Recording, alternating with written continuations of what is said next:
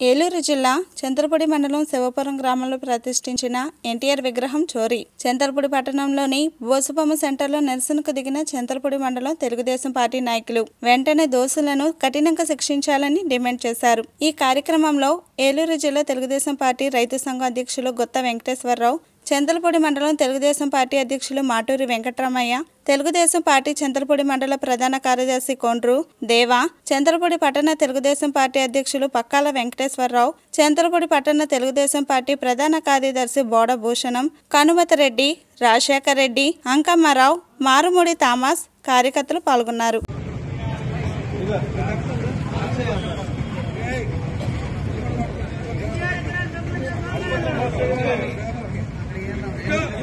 ఆరో తారీఖున నందమూరి తారక రామారావు గారి విగ్రహం శివపురం గ్రామంలో ఆవిష్కరించి ప్రతిష్ట చేయడం జరిగింది. కొందరు వైసీపీ కార్యకర్తలు దాన్ని కుట్రపన్ని ఆ విగ్రహాన్ని ఏడో తారీఖున గత ఈ రెండున్నర గంటలకి ఆ విగ్రహాన్ని ధ్వంసం చేసే ఎత్తుపోయారు కావున వాళ్ళని ఇంత అన్యాయానికి ఒడిగట్టిన వాళ్ళందరినీ మేము పోలీస్ సీఏ గారికి కంప్లైంట్ ఇచ్చి ఉన్నాము.